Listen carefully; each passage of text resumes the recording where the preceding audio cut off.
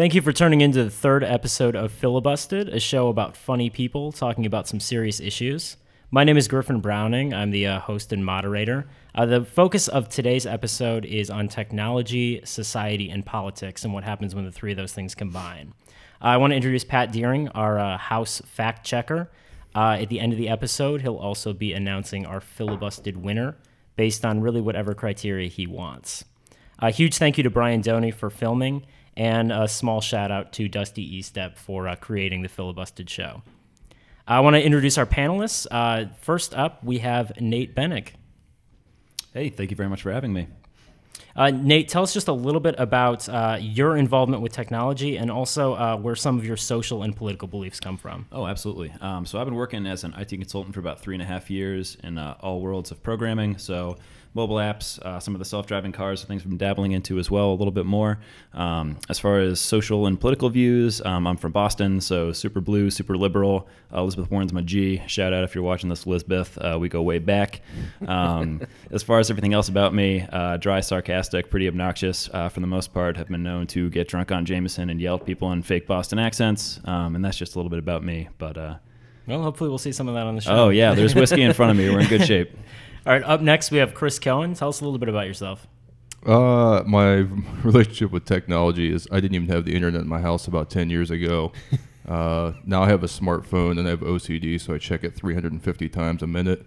Um, politically, I'm a, consider myself a constitutional libertarian. Uh, I've never been a member of a political party. Uh, my overriding political view is I don't like people tell me what to do. All right. Up next, we have Amber Myers. Tell us a little bit about yourself. I am um, an asshole and uh, recently a local entrepreneur. And my political views uh, Hillary all the way because we need no more old white men in office. All right. Somewhere Dusty is upset. and uh, last, welcome back to the show, Ian Miller. Tell us a little bit about yourself. Um, I am a Republican um, that is very close to what uh, Chris has for uh, political leanings. It's just I don't like being told what to do, and I don't like it when people are dicks to each other. Um, as far as technology goes, I'm, uh, I'm I'm a nerd. I've always been a nerd. Right now, I'm wearing a jersey for my favorite esports team that my roommate got for my uh, got me for Christmas. So like as nerdy as you can be, and um, my dad worked for the NSA before I was born, so I've always had that to go with as well. Is he listening to the show right now? Hopefully, not right now, What? but hopefully, He well, maybe monitors right, maybe right now, maybe right now, maybe right now. And uh, not right now. last, Pat, why don't you tell us a little bit about your uh, relationship with technology? Um, yeah, I uh, work in the uh, the insurance industry, uh, everything from health insurance to property casualty, and the insurance industry is something that relies heavily on uh, technology. Uh, everything from our ability to gather the data that we need to rate the policies that we have, um, you know, to technology's impacts on the things that we actually insure. Uh, so it's something that impacts us every day and is always changing. All right, awesome. Well, jumping right into it, uh, the first thing I want to talk about is uh, social media and kind of its role on modern politics. Um, obviously, we're kind of getting into the uh, the heat of a political campaign, um, and in the last few years, we've even seen the internet kind of play a huge role in internet campaigns. Um, so, first off, to to kind of open it up to anybody, um, do any of you feel like you use social media to promote a political agenda at all? Try. People are sheep. Okay. You want to get it out there. Let people know. Like, vote for Hillary. No more old white men in office. I'm going to say it like eight times during the show. Yeah, guys, don't be a sheep. Do exactly what she tells you. Exactly. for, for a static reason. They're that, going to be sheep. Just follow me. Yeah, no, I try. I also try to be political on social media. Okay. Um, it there's a lot of one. It, it gets people talking when you when you talk about it on social media. When you just put it out there, it can it, it can start a very large debate between people that would otherwise not talk to each other. Um, that and it's I get to just you know get on a soapbox and I enjoy that. How would you guys respond to people that say that things like social media aren't exactly the best place? I mean, a lot of you people use Facebook for you know very personal reasons, um, and some people feel like it's not the right forum for that. How do you guys feel about that? Uh, I'll give you an example, like from stand-up comedy. I do actually run a website where I do a comedy blog, and and I've talked to Doney before about this. I try to keep my comedy blog about comedy topics. Uh, when I first started, I delved into other things, And I, I would see other comedians' websites, and they would dive into politics and serious things, and you would read like a, a nine paragraph blog, and it wasn't funny at all. Yeah. And I'm like, well, what's the purpose of having a comedy website and having this manifesto about whatever, uh, environmentalism or a pro or con or whatever? So I'm kind of the opposite of these two. I would like to say more about politics, but it just, the comments make me want to bash my head against the wall. So So- I'd rather have a reasoned, intelligent discussion with people than get the bullet talking points from both sides. So should should there almost be separate worlds to kind of talk about politics separate? I, I don't think so because I think some of the best comedy is is current events and things. It's just um, I don't know. I just get really frustrated with when I see people put like 37 uh, Facebook posts about a certain political topic. It's like we get it. Like no one's ever read a Facebook post or very rarely and been like, "Oh my god, I'm totally switching sides off that." No, Okay. what they usually do is go, "Hey, you ass," and then they just get like, and then it just turns into this mudslinging, awful. I'm blocking this person. I'm blocking that person. It's just I don't I don't see the benefit of it, but I see why people do it because you're very passionate about it.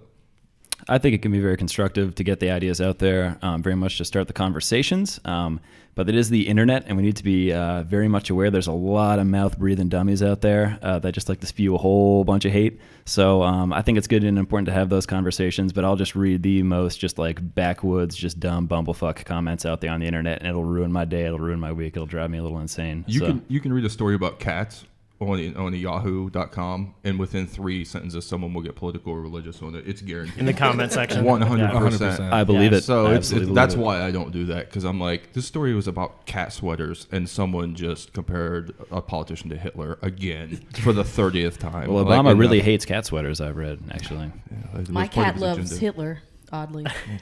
Yeah, They all do.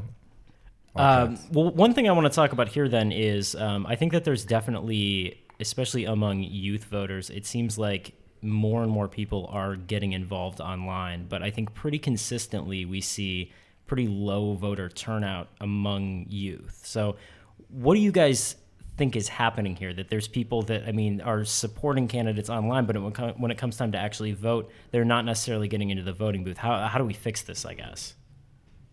We have to get the entire it, there's a difference between talking about politics and being active in politics. And right now there's a bunch of people on the internet that are active in politics or that are talking about politics. And if right now it's Bernie Sanders before it was always Ron Paul. There was always somebody that just caught fire on the internet and they would get these massive amounts of you know what Bernie Sanders is breaking records of, of of small donations but they're just coming in in droves. And the internet gives a voice to the the unsilent min- minority, the vocal minority rather, they just it it's going to give them their voice. But when you actually have to go be active, it's like a lot harder than just typing. So Yeah. Which is ironic because young people have more free time. I think I'm the oldest person on this panel. And uh, having had a baby that's six months old, uh, I have no free time. But it's funny because I always go out and vote. I have to have you beat on age. I'm sorry. I don't know. 40. Oh, okay. Yeah. get wrecked. I have a 12 year old. I look older. All right. All right, well, you. You well, did shifting confuse me. focus a little bit, um, still kind of in the realm of politics, though. Um, I want to talk about something a little heavier here, uh, and that's modern warfare. And I don't mean the Call of Duty series. Um, I kind of want to talk about how technology is impacting the way we fight wars and the way we defend our country. I think one of the biggest things that people have been talking about is the use of drones in military technology. Um, and you hear things like collateral damage, human error, technical errors being thrown around. Um, I guess is there a concern about removing the human element from warfare if we can kind of just press a button or send a missile or basically a self-guided thing is is there a risk in that But their goal is not to remove the human element, but is to teach robots to be more human. I mean, that's that's what they're doing. Artificial intelligence is is there, and they are trying to master it and create a robot who can think and feel like a human.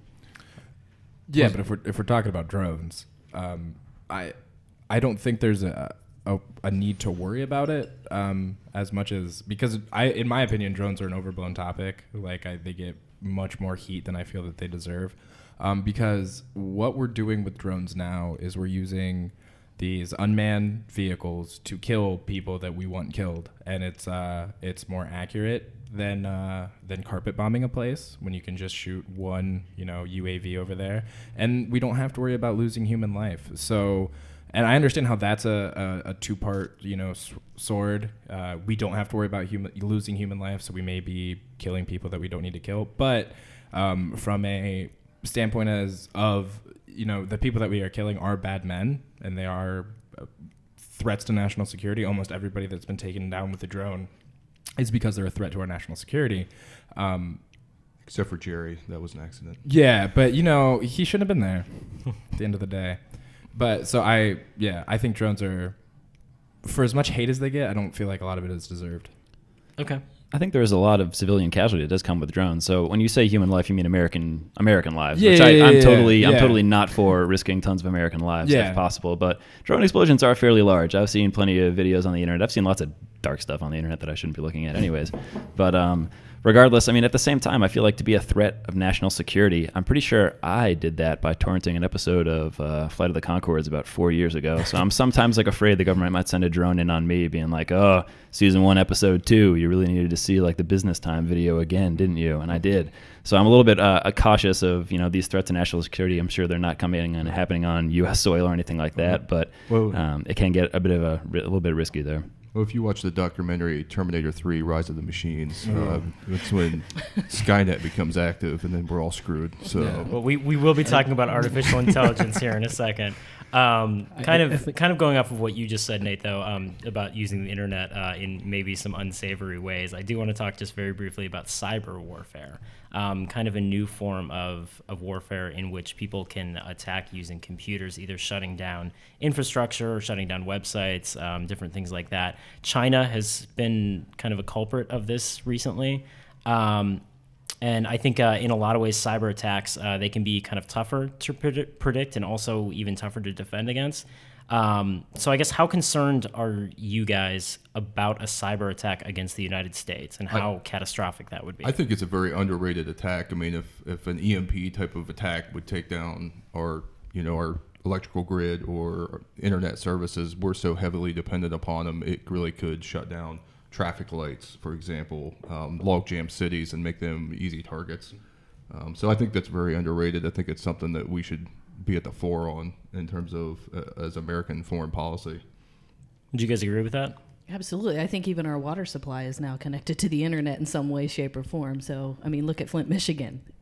If everyone had water or no water or no clean water, we we would be in a serious problem. Yeah, absolutely. I mean, if you think about it in like Florida, a place where you know there is an elderly population where people can't necessarily take care of themselves um, and really needing electricity, that could be a huge, huge global um, and national issue. So I think it would be a worry. Right. and I, I think with the uh, issue of cyber warfare, we'd be remiss not to uh, really examine exactly how dependent our financial system is on uh, electronic databases as well. You know, very rare, very rare, rarely these days does anybody actually have cash on hand for anything. You know, our entire system of savings accounts, loans, the whole nine yards is based on actually relatively old electronic technology. Um, so I think that's truly where the real risk lies uh, as far as a cyber attack on the United States. Um, Which is, why I think, one reason why you hear so many gold commercials or people stockpile ammunition or things like that. Um, now you hear commercials now in certain programs about you know uh, food source. You know, we'll give you a two-year supply of food or whatever. So I think the survival issues blew up what four or five years ago, and they would rate people on their survivability skills. And of course, it'd always be like a redneck, like I got 400 bullets. Like, where's your water? I got none. Like, so you're dead. You're gonna die in I three got days. Cheetos. Yeah. Is it just me or did that survivalist thing like take off with the start of like zombies? Yep. Like Yep. I like I never figured it. out. I was like, okay, so we made a couple of zombie movies, and then a bunch of people were like, I'm gonna just you know just in case. I think the whole thing started when we were going into the t- from 1999 to 2000. Oh, that yeah. I mean, my parents literally had a basement full of water and canned foods and all of this shit, worried that I think Everything's gonna break down. 2008 when the economy uh, took a dump. Also, I think Oh, that yeah. the housing lot of- market yeah, definitely, yeah. I mean, affected a lot of people in a way that you know, you know, they were ejected from their rental property because their landlord hadn't been paying And- their mortgage. And then we for elected a black guy, and everybody really flipped the hell out.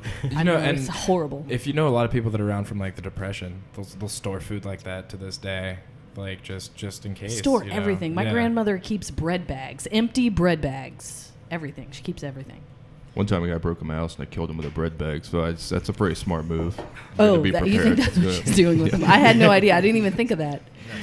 She's weaving them together to make a really strong rope. Exactly.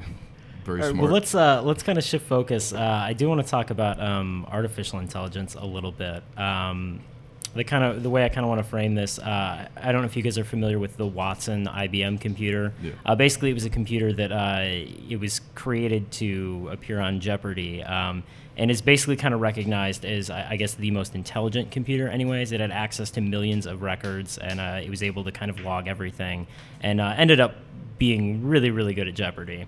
Um, and since then, they've kind of used, uh, they, they're finding other applications for the Watson robot. Uh, they're even using it in healthcare for things like diagnosis and uh, treatment options for doctors. Um, what I kind of want to talk about here, though, is uh, some people are kind of calling it a form of artificial intelligence. Um, and I do want to use a quote from philosopher John Searle. Uh, he called it an ingenious program, but not a computer that can think.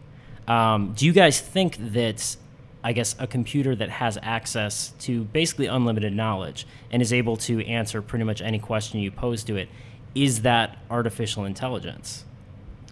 I think if it's programmed with all the answers, then no. If it can generate those answers on its own, then yes, that would be, you know, uh, the ability to generate that would be the this crossover for me in my definition of that. I guess how how, uh, how would you say that's different from the way that the human brain operates, though? Uh, the human brain has this ability to program itself through like education. I guess I guess you could program a. You're educating the computer. Reason is the difference between No, there you go. computers and, and human intelligence, I believe, at this point. Well, I mean, computers they can reason; they're just better at it than we are. I, guess mean, with emotion. Yeah, it, it's consciousness is what it comes down to. It's it's the ability to create.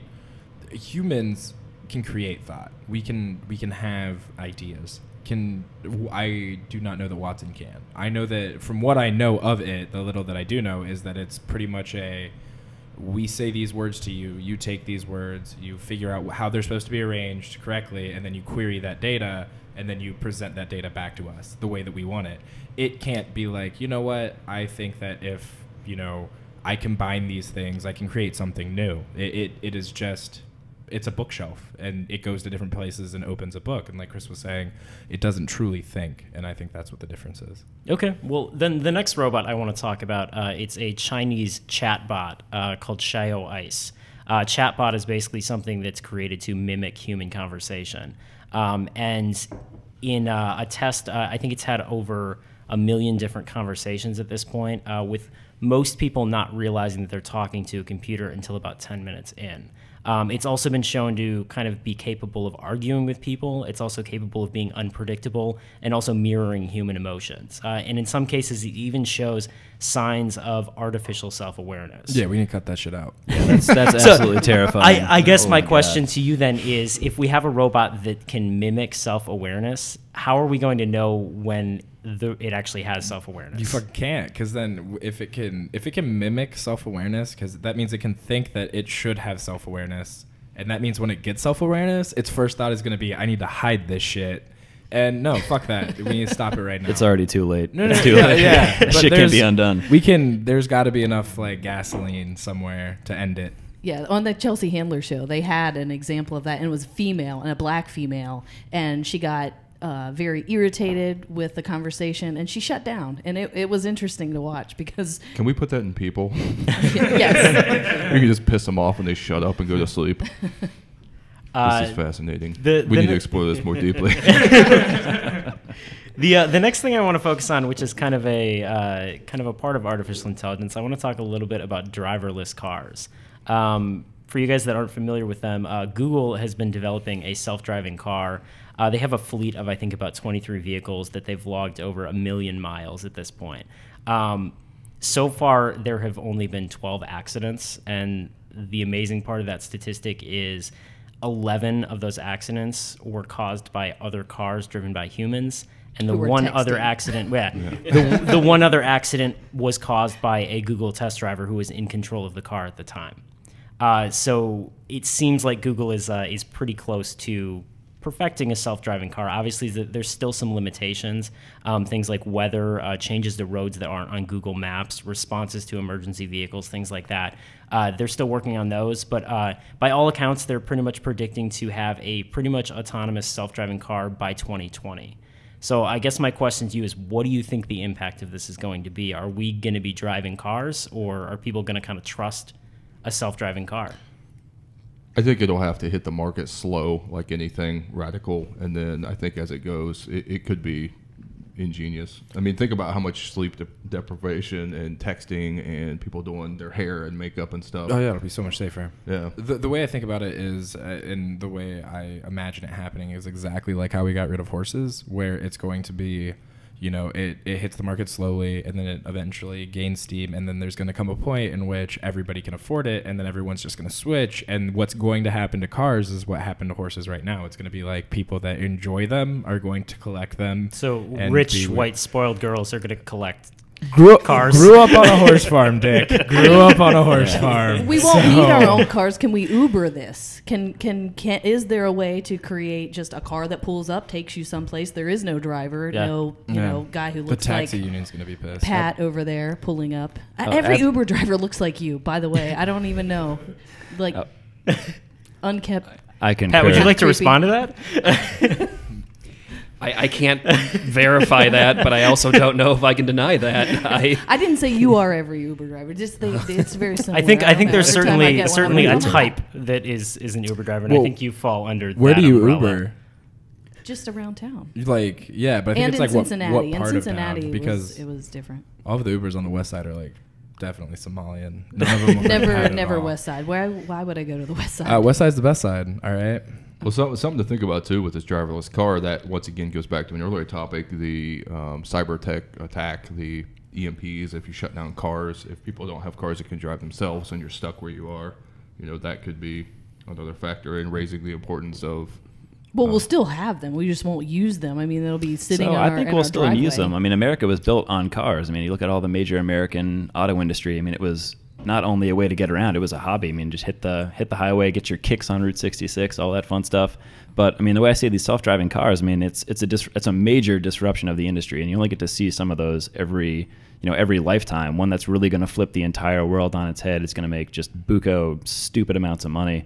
Um, and it will be safer, but I don't think we're going to lose track of you know the muscle cars or the old timey cars. People are going to want to still get out there and drive, but for the public transportation, for the better use of the environment, they're probably going to be electric cars. I know Tesla, Ford, Google, every single major major car and auto industry is trying to jump on this train just so they can get out ahead of it, but Well, they don't know they're like ten years behind already. So If someone comes up with an affordable option, the major car makers will bribe politicians to squash anything with legislation for 20 years. So we'll probably be dead by the time it goes live. I don't know. Kids are getting lazier and lazier, That and is I, true. I That's believe very that they are looking for someone to do every fucking thing for There, them. and that that is a, a very salient point. Um, there's been a lot of research lately into the fear that American automakers have around the rise of millennials who, for the most part, actually don't have interest in buying a vehicle unless they absolutely need it and would prefer to live in an area where they don't need it. Yes. I was, and and it was something that you were talking about is like America was raised on cars. I mean, yeah, there's there's that expression, but there's also the expression like horses won us the West. I see them, I see them going out exactly the same way. And and to your point, it, I was reading an article about millennials sharing everything. We've got like a sharing economy,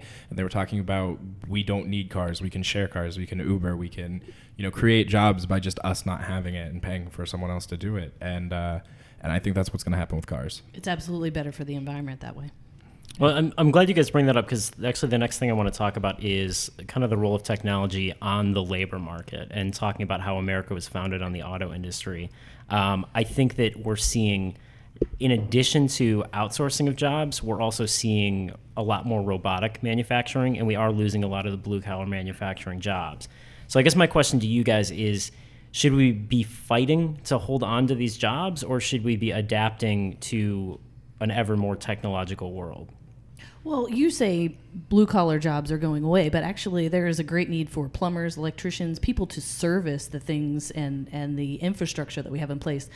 Maybe we're not making things the way we used to or in as uh, large a quantity as we once did. But there's definitely still a need for blue collar and skilled labor, but not not a, a workforce who's interested in you know working. Well, I, yeah, I, like I think that's the that's the important uh, differential is that technology, while it's eliminating um, unskilled labor, there is still a need for skilled labor, and I think that's what you're you're getting at was it's it's a shift. I think. Um, I mean, if you look at it, like I said, they're, they're always guys. If you can do tool and die, those they always want people. They're bringing people from overseas to do um, science and technology jobs uh, because there's not enough people. There's truck driver shortages. Having been in that industry before, they cannot find enough Class A CDL drivers to drive trucks. Um, just people just don't want to do that job. But if it starts to catch up, the market will balance itself. So the traditional manufacturing jobs, I'm from southeastern Ohio, just got devastated. Like there's so many steel mills and cement plants and things that are gone now, um, and most of the jobs moved to the cities, but the service industry has taken over. Um, if you reject it, I mean, like uh, you go back to the Luddites um, who would destroy sewing machines because they were tailors that were getting their industry destroyed. But then the shirt became cheaper and more people got jobs, and then people had to make those sewing machines. So it's a shift, and if you're stuck in the old one, you get nailed by it. But in general, society adjusts and moves forward just like in anything. And I think you can really look around the Midwest in particular. I know going to the School of Wittenberg, um, there's a lot of eastern and sort of southeastern, um, or excuse me, southwestern Ohio towns that were pretty much auto industry type towns. You get to see uh, the impact of such like a large, you know, relatively unskilled workforce that kind of just completely goes away, and the city really can't um, catch up um, without really some some pretty serious help.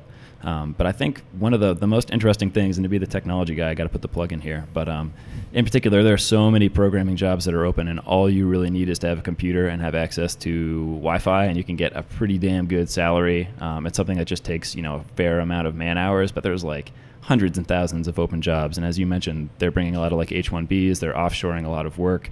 Um, people are starting to onshore to cheaper places in America too. So I mean, as far as for like an industry that I could really see people that you know need help or need to switch jobs, like if you start practicing and start learning, everything is free online. So that's I kind of want to ask you uh, a question. Y- You were saying everything's free online. Uh, a friend of mine got pretty much a programming job just using the website Codecademy. Like, Yeah. things- Oh, yeah. is that actually plausible that you can use that free website and be So like, yes, by if- the end have a job? If anybody is interested, Codecademy is an outstanding way to start. Um, there's also a group called edX, which was funded by MIT and Harvard. You can get pretty much everything short of a degree for free online with professor help.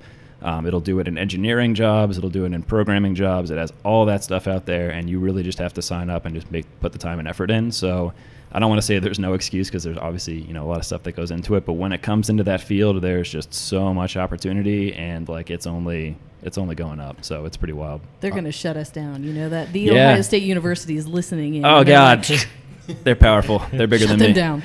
I think people are going to get away from colleges. I mean, uh, They should. Uh, well, I think you know the the government guarantees college loans, and they've made an arms race to build better facilities, put more into athletics, and I think people are going to get to the point where you can't. It's I always heard when I was in college or high school, you make a million dollars more of your lifetime getting a college degree, and I think eventually that's going to catch up and even out, and people are going to go to uh, labor schools and things like that, or just say it's not worth it. I want to make money now, so I could see it flipping. It might take a while though. Yeah, corporations are still bent on the, you Yeah. know, what was your GPA? And Right.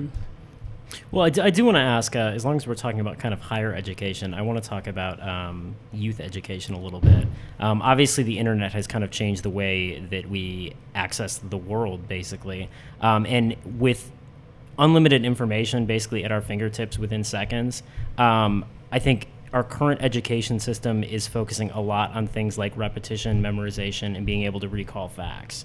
Do you think that we should be rethinking that strategy if we have access to the internet? yeah.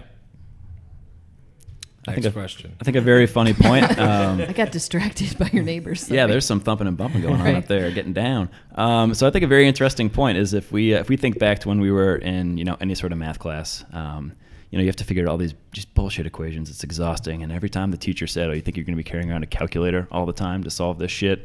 And it's like hilarious because I think about it now. It's like, yeah, I have not only a calculator, I have like the ability to prove my dumb friends wrong in like five seconds at lunch and stuff, and just be like, "No, you're a total moron. This is actually like when you know whatever happened in World War II actually When- occurred." And like, it's it's bad because it makes me a douchebag, but it's like a lot of fun to do too. So What one of my friends pointed out to me, and I didn't realize it. And the second he pointed out to me, it kind of like it it made me angry for a second. Is why are we still charging two hundred dollars for a graphing calculator? Cell phones are like thousands of times the power, and everybody's got one in their pocket, and yet we still let like that be a requirement for our school for something we'll never need in the future. Those TI calculator lobbyists, Right? Uh, Congress. They got that shit Yeah. on lock. I remember people used to manually type answers to tests in those old calculators. And Oh, it would yeah, take for like sure. six hours, and if you sneezed, you had to start all over. But like, I, there was a couple guys I went to college with that did that. Mine was like exclusively for Pac-Man. Oh yeah, the games. That's why I did it. Yeah, yeah. for sure. I will say one thing though. I did notice it seems like as you advance, like they want a computer in every classroom. There are certain skills that you need that just don't go on technology and computers. I mean, it's embarrassing. Like my dad built his own house. Like I can't do any of that stuff. Oh, it's it's cool, man. We don't have to. Uh, they're getting rid of those anyway. Oh, like yeah. whether we use the internet houses. Or not. Houses. No, th- those classes, you know, shop, Oh, okay. music, those are gone. Those are the way. The Well, I mean, there are certain things that could help. Like uh, my high school got rid of uh, a basic car care class when I got into high school, Yeah, and I thought, too. what a Which useful sucks. freaking class. Yeah. You know, like how many people can't change a tire or jump a battery? Yeah, Uh, for sure. how, I like- mentioned I'm the oldest one here. In my in my high school computer class, we did a long code, and at the end of it, it printed out our name, and we, Oh, and yeah. it took us a, a week. What's what is funny is uh, during my computer class, we, the printer would get log jammed, so Yes, ours we would had to too. stand up and say, "I'm printing now," and then you actually had to, and me and my buddy would be over the top. He'd be like, "Now I am going to print my document," and we would scream it. And she'd be like, "Okay, you don't have to say." We'd be like, "Just so everyone heard me," and we would do it like five times. Did it print on that paper that you had The to dot tear matrix, the yeah, the, uh, side the, to side. the sides off? Yeah. Yep. Uh, let me ask you guys this: um, Do you think that we are too reliant on things like the internet? Has it taken like such a large place in our life? I mean, you hear things about like I Trump wants to shut down the internet, whatever Well, that Trump's a means. moron. Let's not Yes. mention his fucking name Uh, ever again. But but we have seen in other countries we've seen internet blackouts uh, before. Um, do you think that we're a little too reliant on it? What would be the impact if the internet was just gone? Oh, it's it's if the government wanted to quell a social revolution like they did like Egypt keeps doing, like they keep doing a great job of overthrowing their government. If they wanted to stop that in the US, all that they would have to do is turn off the internet for like 6 hours and then everyone would calm back down and no one would be able to communicate with each other. We use the internet right now so much as a means of communication that if it were taken away from us, I mean, and, and as Pat was talking, we communicate with our bank that way. We communicate with, you know, our friends, our family. We set up everything. The only reason I remember that this was today was Doney sent out a, a Facebook message. I mean, I'm completely reliant on it. My my calendar is, you know, it's in the cloud, so that no matter what on device I'm on, I can have a notification tell me what I'm supposed to be doing at that time. And if that goes away, uh, I'm I don't know about like everyone else, but as a pretty real like self-reliant human being, I'm crippled. Yeah, I'd be incapacitated as a nerd. Um, it would just be it would be unfathomable at this point. I, I don't know what I would do, but um, I think one of the, the major problems with that is is that like how would we ever move on? Like encyclopedias, I can't do that again. That was horrible. That was so dark. Like as much as the internet is great, I could never do an encyclopedia again. Growing up, I uh, growing up, my parents bought the sets and ran out of money, so I had the one from A up to M A O T S was where it ended. That's one of the best ones though. I know it ended with Chairman Mao, so I never got to hear anything after Mao Zedong. I was screwed. So uh, Speaking of despotic, Yeah. anti-internet exactly. Regimes, forcing people onto farms, uh, the uh, opposite of technology. So I never got to read about anybody with an in or after, though. It's so depressing. So I can I can speak for myself on this. I'm pretty sure my short-term memory has been shot ever since the internet came out. I don't need to actually synthesize material. I don't need to actually learn anything because I know I can go on Google. I know I can go on you know Reddit or Facebook and just instantly know what I'm talking about and feel like a smart person. So I think I'd be I'd be like I'd be caught. You know. They're like Nate, he seems like a fairly well-spoken cat. It's like no, he's a fucking idiot. He's just on his phone, like sitting on the toilet, not pooping, just like reading up on things to go and like seem smart, and then I forget it. I Like, just, I just remember in the early 2000s, my buddies and I would drink beers and argue about the stupidest thing. Like, I think the Pirates won more games than the Reds last year. Like, you're full of it. And I'm going to call you on it in 17 weeks when I get an encyclopedia or a sports almanac and look that up. Yep. And now it's like, oh, yeah, actually, you're incorrect. And you're like, God, I owe you five bucks. Like, I actually have to pay this bet now. It sucks. So that's that changed my life dramatically. You guys are so cerebral about it. I'm just worried about my emotionally needy friends who don't leave the house. I mean, how will they get attention? Ooh. Oh, We could talk about that for a couple hours. I know, yeah. right? Everybody immediately thought Everyone of that has to- one friend. They're like, "Oh, don't say their name." Oh, I think thought this about whole- myself. Yeah, this whole I table thought about talking about. themselves. I could count them on fingers and toes and be very concerned. Yeah. Instead of political signs in front yard, you just write your status updates and put it out there for your neighbors. Can we actually do that? Like after this, like for at least for a week, so you drive by and be like, oh yeah, yeah, that's where I Pat made lives. cornbread today. CVS is out a Cares. poster board. Yeah. Uh, well, well, the next thing I want to talk about, we're getting close to the end here. Uh, I do want to talk about privacy in the modern world a little bit. Obviously, the internet has kind of shaken up our ideas of what privacy is. Um, in the last few years, we saw uh, the fappening happen. I don't know if you guys are familiar with this. Basically, a huge leak of celebrity photos published on the internet. I have no Um, idea what you're talking about, Griffin. I never looked at the Fat Let's. d- does anyone else want to fess up? Did Did you guys look at the pictures? Yes. Everyone looked Everyone at the looked, pictures. okay. Ver- I, I didn't there a because I was worried yes? about viruses. Oh.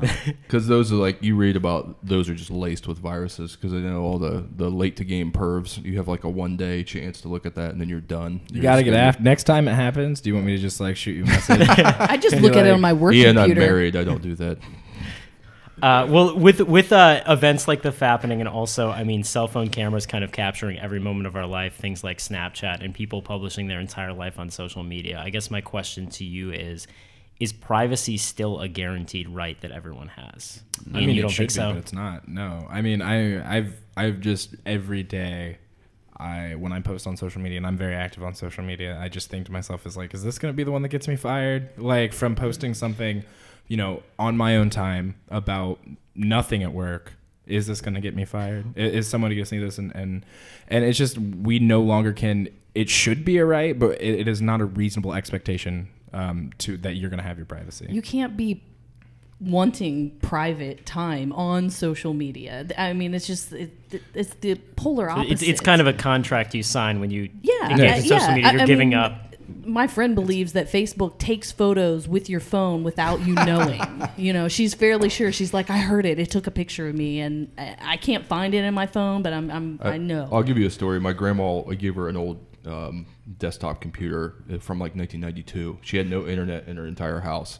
And uh, she saw a story on the news where people stole your credit cards on the internet and she threw it in the trash because she thought they could invade the computer, even though it wasn't cabled up. She played solitaire on it, was all she did with it. It's a dope uh, game, though. Yeah, It's a dope game. She loved it. So, So- she went back to her slot machine. Um, that she had bought. Uh oh. But uh, yeah, I tried to explain. I was like, "There's no cable going into this. Your credit card. You've never even used your credit card on the internet." And and she was having none of it. So So I feel like the privacy is super counterintuitive, kind of like you were saying. Like if you're putting the shit out there, like you got to expect like it could either come back or create some sort of issue. But the best example I can think of is this this genius and this total asshole was the Instagram guy who just took photos from Instagram and just printed them on uh, like whole canvases and made like five hundred thousand dollars on other people's photos and just cashed in and is now like sitting on a beach just like sipping mai tais like a total turd. And all the people are like, "Yo, man, you can't do that. Those are like those are my pictures, man. Like they're mine, and I took them and I made a public profile and I put them out on the internet. You can't sell them. That's bullshit." And it's like, no, he can and he did, and he's kind of like.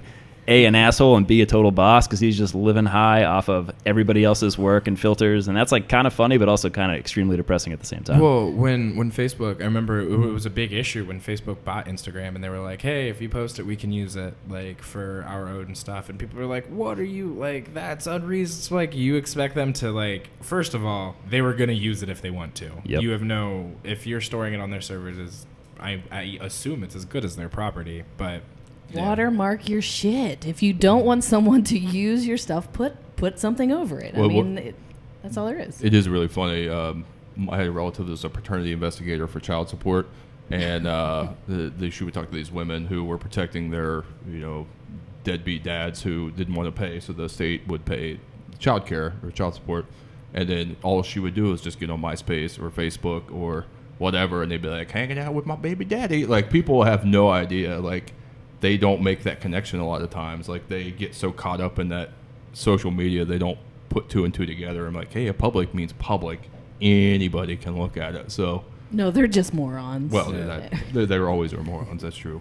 Yeah, I mean, you, you do have to wonder a little bit um, at what the platform of social media does to make people feel like what they're saying is maybe more anonymous than if they were just shouting it out in their office, even though it's effectively the same thing. Um, you know, I think most of the courts have actually looked at this and have said nothing has changed. This is just a new way to speak publicly. But people don't really make that public connection when you know they're sitting in their underwear on the edge of their bed with their laptop. Um, they would s- write things even next to their own name that they wouldn't say to their boss the next day. That's another thing people don't think about too. Like if you put a status update up and you get 10 likes, people don't realize there may be 90 dislikes because there's no dislike button. So they I- said it was coming though, and then I, nothing. know, I, a I so wish there was one. Uh, but no, they, the thing is about the internet is people find kindred spirits and then forget about the rest of everyone else. Like you can see the most ridiculous things on there, and people are like, "Hey, you know, a lot of people look at this and judge you, but don't make a comment or jump in." So just keep it in Hence, mind. Trump running for president. Didn't he, wasn't he no, like nominated for a Nobel Peace Prize today Yeah. too? Yeah, yeah, I'm sure it went pretty ready. busy. Oh, I missed I won't. Is I won't. real? I'm Get sorry. ready. I shouldn't start. I shouldn't jump into that. Nobel Peace Prize. Oh. Hey, what have you done today? Well, bef- before we get into an argument about Trump, uh, my last question for you guys, uh, and this is actually a two part question for each of you. Um, what do you think the greatest technological advance of the last 100 years has been? And also, what single technological advance would you like to see happen in your lifetime? And Pat, I'm actually going to bring you on this. I'd kind of like to get your answers to that first. Oh. Um, last hundred years. I mean, the last hundred years, um, you know, absolutely 100% the uh, the World Wide Web, uh, which laid the foundation for the internet and everything that we have today as far as information sharing goes. Um, what would I like to see develop in my lifetime?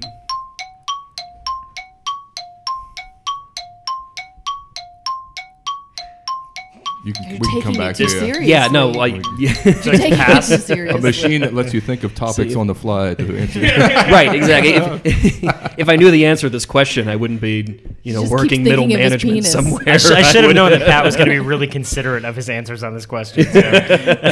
he does not want to get Um, this one wrong. I, I would honestly, I would like to see somebody actually create real time uh, banking and financial transactions, and that we get out of this entire process of um, kind of load leveling transactions at one point in time. You know, you, you make a payment at X time, it clears at X time, funds move at X time.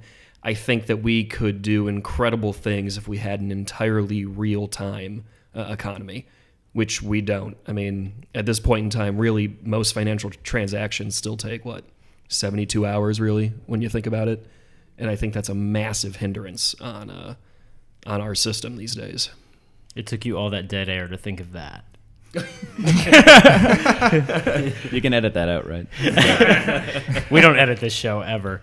Uh, Nate, I'll turn that over to you. Uh, greatest technological advance of the last 100 years, and what would you like to see in your lifetime? Shit, I shouldn't have said anything. Um, well, I mean, the internet. I mean, that's kind of like unfair to follow up. I mean, come on, Pat, don't be like that. Um, I don't know. Like, I might just have to take a, a spin and just go on the the medical front. I mean, I think something like the MRI could easily be, um, you know, argued as probably one of the greatest technological advancements. Being able to see something that's happening inside the human body, um, I think is a truly profound and helpful thing. I had to get one a little while ago. Lucky it's not super serious, but it sucked. But I was still happy to be like, oh yeah, that's like my brain and like my neck and my shoulders. Like that's what's going on in there. Like it, uh, it really helps. And uh, the quality of life people that you know can do it and do have the health insurance, I think, is uh, a truly profound thing. Um, something I would like to see. Um, probably some sort of like mechanical organs. Um, I think since the whole stem cell thing kind of got uh, shat on and thrown out the window for you know fairly justifiable reasons, um, I think being able to find ways to uh, you know get like robotic kidneys, livers, all that fun stuff. Granted, it would be super expensive to do, but I'm uh, I'm like very much into becoming like half cyborg, like laser cannon, like super far sight, like all that kind of cool stuff. Fighting some crime casually, like I like not like a full time job, maybe like 1099 on the side.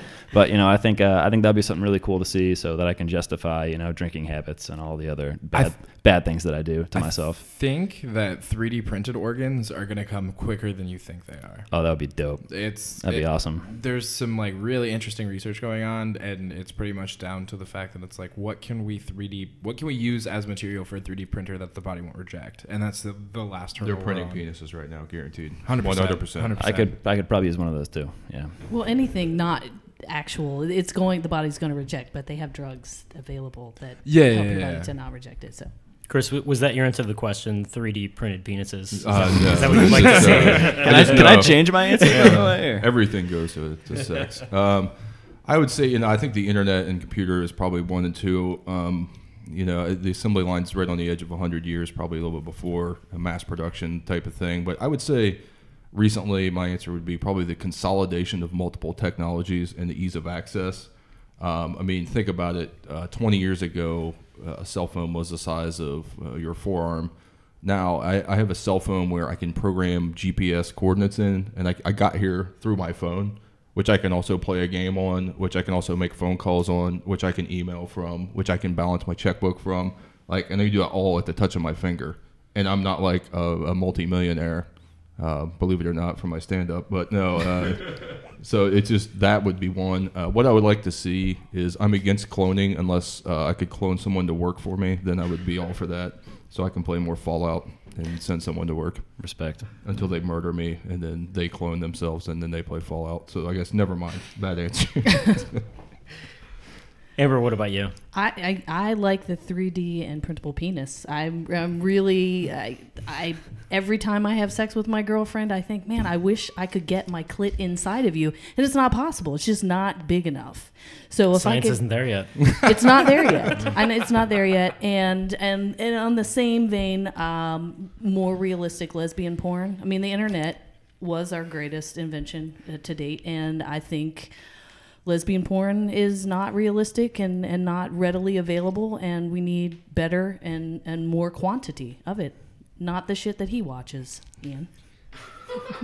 I almost said here, here, I know, but you watch you watch straight man. You watch straight man's version Don't of even- lesbian porn. You think we actually scissor, and that's just it's it's horrible because our faces are nowhere near each other, and it's weird and awkward, and it's just like just you our don't pussies touch. you don't scissor, and yet you, all you want is. To I didn't your say I clit. don't It's- scissor. That's what I'm saying. I didn't say I don't. I just said it's not the best I, way. You said you think we scissor when plot twist, guys. They do. All I've right, my she girl over, just confirmed it right here. We were doing so good. I did not expect this to go off the rails right at the end like this. Notice the drink level. It always happens at Mine some is point. empty. I'm Almost. almost out of whiskey. Okay, funny how this works. Ian, what about you? Greatest technological advance of the last 100 years, and what would you like to see in your lifetime? This is a good question. Um, I'm definitely not last 100 years, but I'm gonna. I'll explain my answer. Uh, I was listening to just yesterday uh, Charlie Chaplin's speech at the end of The Great Dictator. I don't know if anybody else has heard it, but if you haven't heard it, you're on YouTube right now. Go like pause this, go listen to that, and then come back. Um, he talks about it's 75 years ago, like next month that that movie came out, and he talks about the aeroplane and the radio being in- inventions that point out the goodness of man. And you know, it's it's if you look at two things that have been able to connect the world, um, I don't think there's anything better than than the improvements that we've made in, in the airplane and the radio. Um, everything that we run off now, like Chris was saying, all of those cell phone signals are just improvements. Like all, everything you can do with your cell phone is just improvement on the radio signal that we've had. And without airplanes doing what they do, we would not be able to like interconnect the world the way that we have. So I'm going to steal my answer from Charlie Chaplin um, and those improvements. And what I would like to see in the future. Um, Wasn't Charlie Chaplin in silent films? Mostly. Uh, yeah, mostly. And then he got a chance to talk and decided he had some shit to say. So he said it. It's a really good movie. Um, but uh, what I would like to see in the future, it would probably have to. It's got to be something with space. Like we gotta get, we gotta get, we got, we went from the you know the green planet to the, the white moon. Like let's see what's what's on that red planet. You know, let's let's do something space wise because I Or think that's the next. Yeah, just exploration. I think that's the key to advancing as humans. an is to- ocean to, in find new space. shit. It might be a, s- it might be Boom. there might Combine be a that. space inside of the ocean. You have no idea. Or if we can make like zero gravity machines and just float around, I think that'd be fun too. Yeah. it's something I always thought that they had, and that that's how they filmed like zero gravity scenes in movies. And it turns out that they don't exist. There's so a beer that makes you lose weight. Let's invent that. I changed my answer. All right. Well, at this point, I'm gonna have uh, Pat weigh in and uh, announce our winner of this episode. I think this is gonna be a tough one. I think everyone brought some some pretty good things to the table, so I don't I don't really envy you yeah. right now. Um, yeah, everybody really did. Um, except for maybe that first one about social media. We just wanted to talk about how everybody's assholes on the internet. well, they are. um, I'm um, gonna but trash you on the internet now for that. Hold on.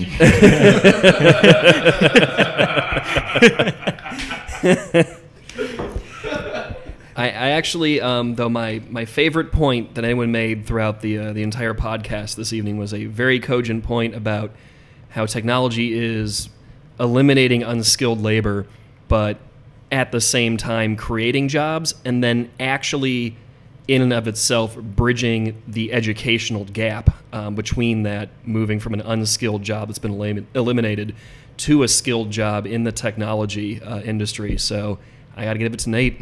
Oh wow. Thank right. you. Well, congratulations, Nate. Uh, this is your chance. Uh, this is your filibustered rant, and uh, none of us will interrupt you. I'm looking at you, Ian. I, Ian, I I'm know so Ian, sorry. Ian just- I wanted it you. really, really badly. Yeah, maybe maybe we'll have you have you on another one. Third time's the charm, maybe. now he has to pack his Nazi flag back into his car. Thanks, Pat. All right. Well, Nate, the the uh, the mic is yours. Uh, whatever you want to talk about. So I didn't know this was a feature here. Um, so this is going to get interesting. So let's. Um, I mean, everybody here's probably seen the new Star Wars, right? Probably. Oh wow. I have a baby. No. You called yourself an all right, baby. Fair excuse. You called yourself a nerd. Come on, man, get it together. So, can't say anything. Ian hates me. So let's talk about the latest Star Wars. All in all, thought it was pretty halfway decent. Um, I think J.J. Abrams. I think while he's a good director, I think he kind of pushed out. I'm gonna throw that out there. I feel overall he. Uh, he really didn't take many chances with the film. I think he had the cast, he had everything in order. Uh, the overall major issue, I think, was the pacing. If you think back to A New Hope, you think of Luke staring off depressed into that two moons of Tatooine.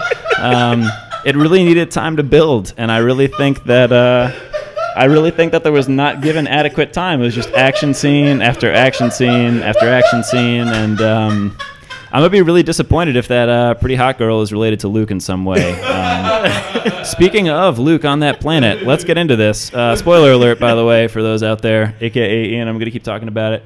Um, cup- earmuffs if you know you don't know this stuff, but. Uh, yeah, is there like a Five Guys around the corner on that planet or something? Because Mark Hamill's looking like pretty thick for a dude in like isolation for like 75 years. Like, there's at least like a Krispy Kreme or a Five Guys or like a lot of hamburger helper somewhere on this desolate planet. So, Mark Hamill, get it together, man. Um, but respect is the Joker. Uh, and that's about all I got as like a random thought. I was just thinking about Star Wars earlier today. So, uh, thanks for tuning in. And I'm sorry, Ian, I'm a total dick. Apologies. All right. Well, well thank you, Nate. I, I appreciate that. Uh, and thanks for totally going off the rails there. I, hey, that's why I'm here. I feel sorry for all you guys. Do you ever get laid, any of you? No. I'm gonna fuck No. all the girls and one dude for you, Pat. Yes. Just, I, you guys all thought that was really funny. Spe- awesome. speaking of apps and technology, I mean, I don't. Gay men have all of them. I'm fine. I fine. know you've got the Grindr. what else do you I- have? I You have don't- a Grindr. Oh geez, uh, I have uh, I got the Tinder, the Grindr, um, Scruff, which is Scruff. like which If is like you like- Grindr for hairy people. Are you a top or a bottom? I've always wondered this. Can I I'm- I'm- ask I'm a top. That can't be a thing. Really? There's a Grindr for hairy Doney, we might just have to Yeah. do a fade Oh, out screw on this Yeah, episode. yeah. I don't think people are going to stop talking. All right. Well, thank you guys for being a part of Filibusted. Uh, Ian, do you want to pop your face back in, just real quick, so we can see that beard one more time? There he is, Ian Miller, everybody. I was committing to the bit. All right. Well, thank you guys. Uh, huge thank you to Pat Deering again for being here, and thank you to Doney for recording and editing, and Free Dusty. Uh, next episode, we will be talking about political correctness. Uh, if you watched our first episode, it was one of our more interesting parts of that. So we're going to dedicate an entire episode to that, and we'll see you next time. Thanks for tuning in.